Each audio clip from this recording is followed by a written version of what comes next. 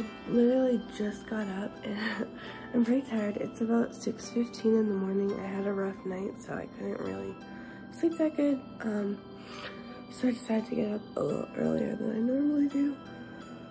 I just got out of the bathroom and guys, there was a of everything right there. Only rodent owners will understand that, but I'm so excited. I like to make DIY crafts. So now I'm just gonna say good morning to the pets and give them all a treat. Hopefully, um, my hamster is up. Um, yeah, hopefully Thomas is up. Uh, the rats, they'll just wake up when they see me, but Thomas likes to hide because I just got him, so yeah. Ignore the mess on the table, I'm just like DIYing. Doesn't look like Thomas is out today. Must have gone back to bed. Yeah, he's not in there. So here's Leo and Scott. They're on the top level. I'm gonna say good morning to them. Actually, I'm gonna go grab them a treat and I'll be back. This is my treat area, so I'll just take in this jar. I'm excited, they know what's gonna happen. These treats are like little crispy things that are filled with like apple jam type stuff. Here, good morning. Hey, oh, that was my finger. There you go. Good morning. They don't bite hard when they think it's my finger, but I wasn't really paying attention. He doesn't want to say good morning. He wants to eat his food, so I'll come back for him. And Scott is a lot um, less friendly. Not less friendly, but just more timid. He's hiding back there eating his little treat. So he probably doesn't want pets yet. Now down here, we've got Reggie and Scott, but they're they're just gonna come with the door when I open it. Guys, really? Really? Get, get off of here. Get off! I'm gonna open this door because Cornelius is just gonna, um, well, so yeah, that's Cornelius and Reggie. Uh, Cornelius is on the hut there, or on the platform, and Reggie's at the bottom. So they're gonna be very excited about their good morning treats. So here's, there you go. There you go. Yeah. So I actually used my old crochet projects that I never was gonna finish as um, rat supplies. So this is like an old blanket and that up there is like um, a, a, pillow I was making, out like a circle pillow, but they actually chewed the bottom, so now it's just like a big hole in the bottom and they'll just like sink down as they go in it. It's like these rats are ready for some good morning cuddles, so I don't really cuddle them. I try to pet Scott, but he doesn't really like it. See, he just doesn't really want to be pet, which is okay. It makes me a little sad. Leo, on the other hand, loves his good morning. Oh, what's on you? You get a stain on you? Good morning. Good morning. Yeah, he's chattering his teeth. He's happy to see me. Are you gonna come with me? Yeah, good morning. Do you hear him chattering his teeth? That means that he's excited. I think he's got some poop on him. The joys of being a rat mom.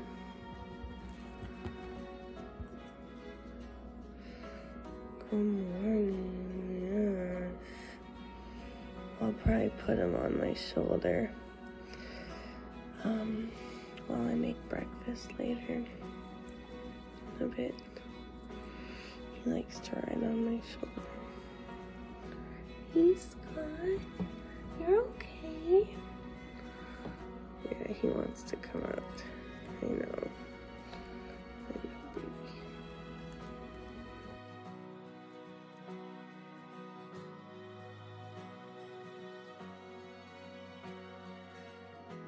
Time to say good morning to these guys, and they're on this side now because they know that's the side I'm gonna open. They are the kind of rats that, like, if you touch the cage, they think it's food and they will bite your finger off. So, yeah.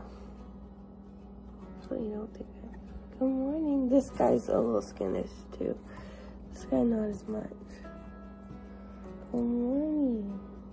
They don't, like, really love pets, but they kind of tolerate it. Um, Reggie was enjoying them yesterday, but he kind of has to be in the mood.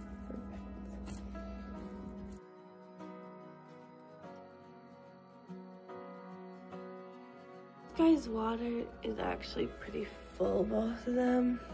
So I'm not gonna add more water because if I do, they just knock it over. Um, they just recently had food. Like I fed them last night and they still have food in their dish, so they don't really need any more food. Um, and they're all overweight. I might give them some seed mix that they've got their oxbow um, rat pellets. But um, Thomas, I'm gonna refill his water just because he, he only has a water dish. These guys have a water bottle too, but I'm gonna refill Thomas's water with fresh water. Thomas's water is also in the sand area just because that's like the only space I could put it. And so I it sometimes get sand in there and then I just, I feel bad. I don't want to um, make him upset drinking sand water. Also, I got this little end to a um, spider plant, and I got a few more that I'm gonna grow and give to um, the hamster, Thomas. This is the Christmas area that I'm making. In that box is all my DIY stuff. But yeah, this is a Christmas DIY because I'm gonna do a Christmas cage for Thomas. So yeah, this is Thomas's cage. He's probably burrowed down in the bedding. But yeah, his little water dish is there um, and sand pit. I am so excited. I actually have news for you guys. And that is that I'm getting a huge tank today um, for Thomas. So I'm excited because this cage here feels way too small. It's the bare minimum. It's too small, so I want to get a bigger one. And yeah, I'll switch his water.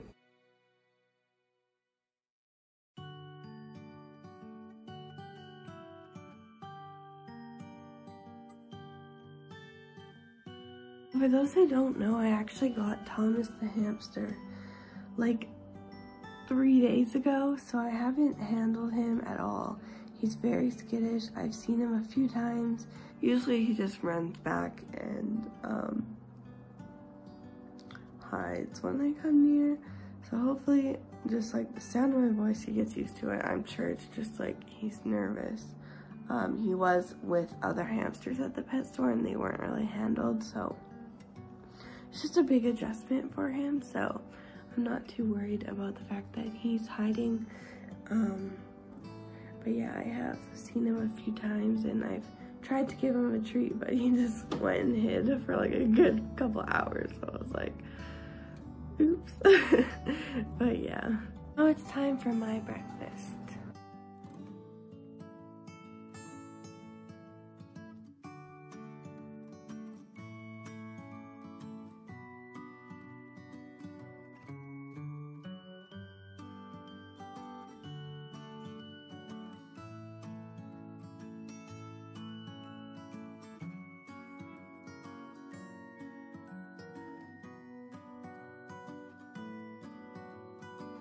Have like waffle mix from yesterday that we didn't end up using all of. And then we have this tiny little waffle maker that we got.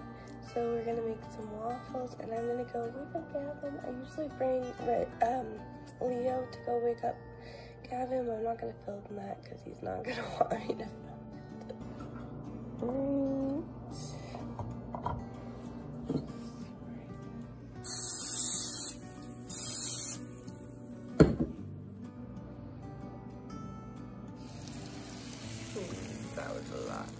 guys, I'm scared to close it. It was a lot.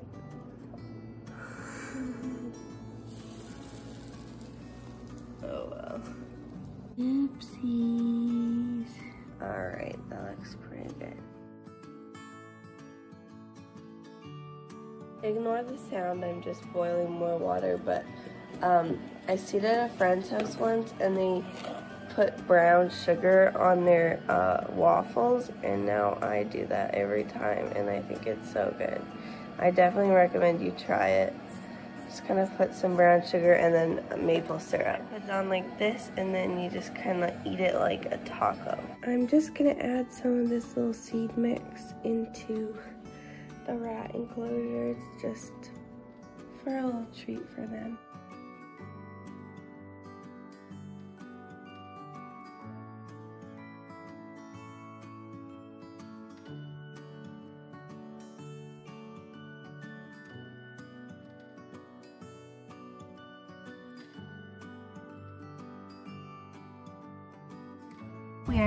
Going shopping. So we are going to go to this like Rainbow Pride thrift store to get some Christmas presents for my sisters. And then I'm also going to Walmart to get a yarn needle for my crochet project. Okay, I just got back and now it's time for a haul. So from Walmart, I got these lollipop sticks, um, yeah, to make DIY crafts. I also got this blanket. It was like, these were $2 each. This blanket um, was about $6. And yeah, it's like a Christmassy little plaid blanket that I'm going to use for the rats. I might cut these little ends off as like nesting material. Then from the, I did end up stopping at the pet store. I got cocoa fiber and um, some barley seeds, which is technically like cat grass.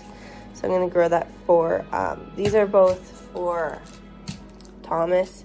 And then lastly from Walmart, I also got a paper shredder so I can make um, like shredded tissue and shredded newspaper for like paper mache stuff for the hamsters and the other animals. Um, I also did get my yarn needle. I didn't forget that. um, but yeah. Use this tiny little container to grow the barley and I have organic dirt that I just got from the dollar store. So I'm going to make that and plant the seeds.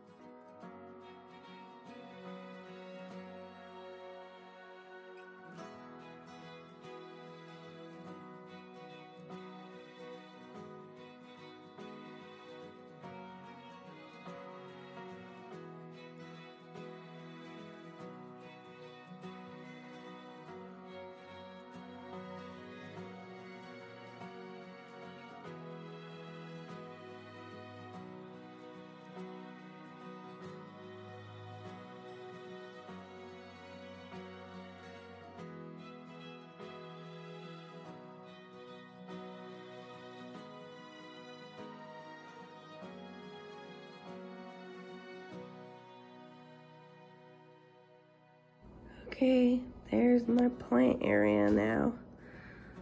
It's just on top of Thomas's cage.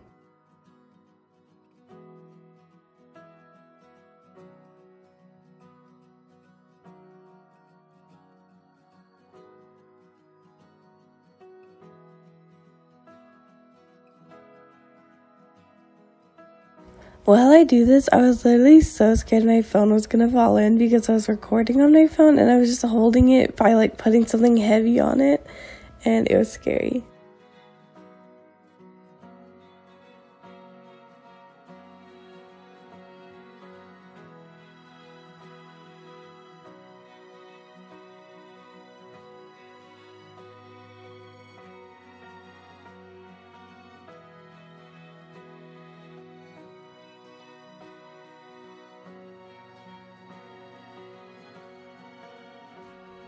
Okay, so this is what it looks like now, and I'm just gonna kind of let it sit there. Okay guys, so it's been a couple hours. I crocheted for a bit. I'm crocheting a small hammock for the rats. I cleaned up and I made some crafts. This is gonna be a little Christmas tree hut. I just have to cut the little entrance on that side. And I made this little ladder that turned out kind of ugly. Um, yeah, and then I was crocheting this. It's gonna be like a hammock, a square hammock, but I'm a slow crocheter, so it's it took me a while. The boys are just chilling. I tried to take Leo out, but he didn't want to come out. He just licked my hand. You gonna come out? Come. Don't lick my hand. I was just painting. You little goof. Little goofball. By the way, this is what I was talking about earlier, how they made the hole in the bottom so they just get sucked down.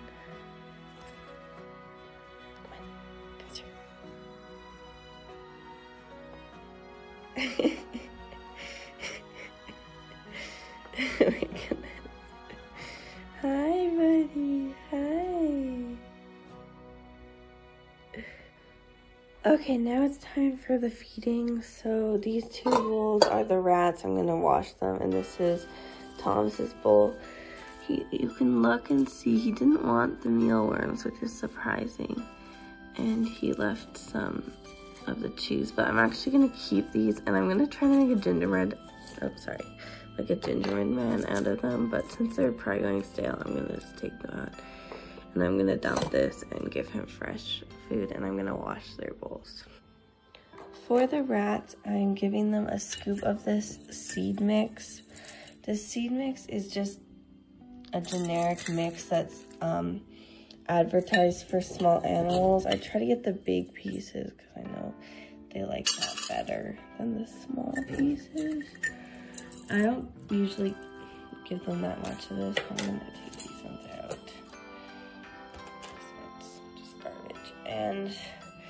Then this is the um, Oxbow pellets.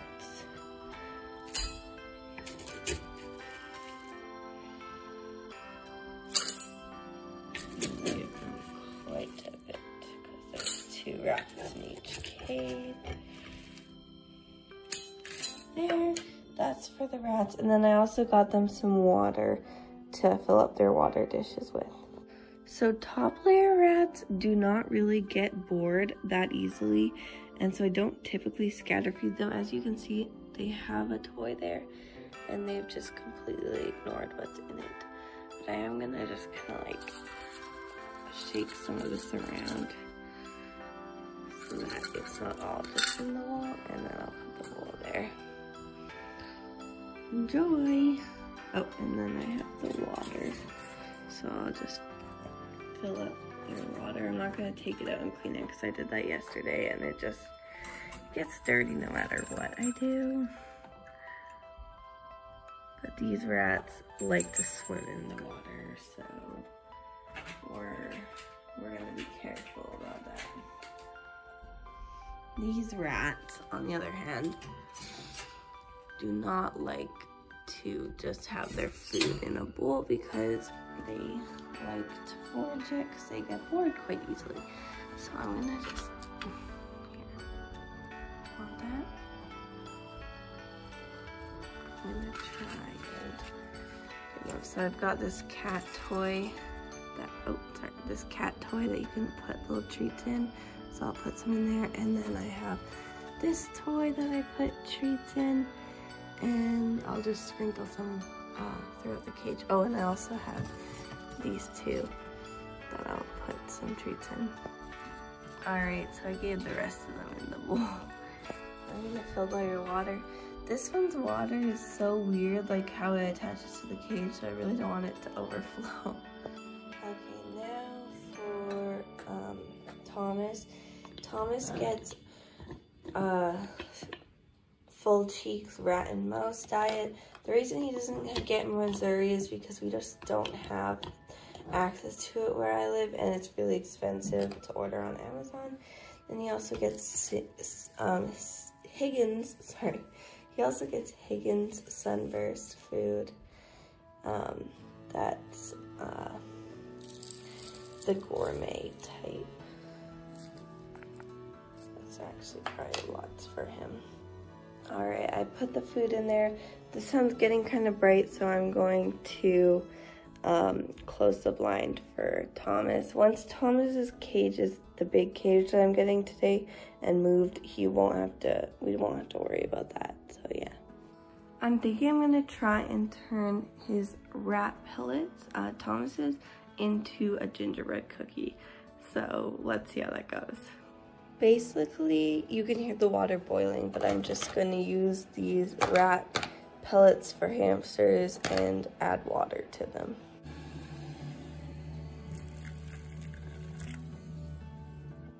okay, this is like a couple minutes later and it looks and smells really gross.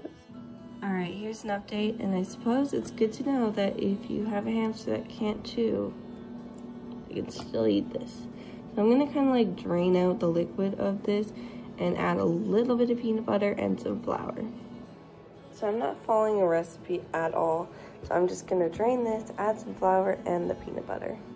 Okay guys, I'm actually quite proud of this little dough I've created. And then I have a little pan there and I'm gonna cook them. Now I unfortunately do not have a gingerbread cutter, cookie cutter, but I do have this little flour one, so we're gonna try it.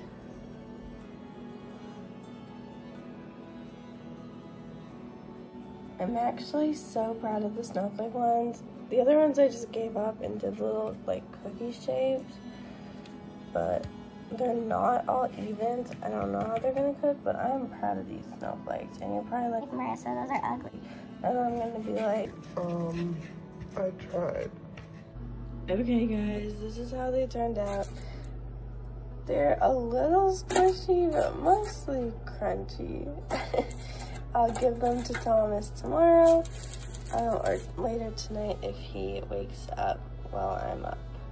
This video has been insanely long and it's only like less than 5 o'clock, so I'm going to end this video here because uh, the people are coming with the new tank soon and I want that to be a separate video of me setting up the tank and that will be tomorrow's video.